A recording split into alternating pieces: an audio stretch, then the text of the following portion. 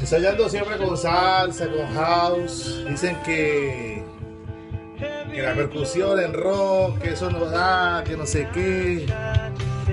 Hago con un poquito de Red Hot Chili Peppers. A ver qué tal sale.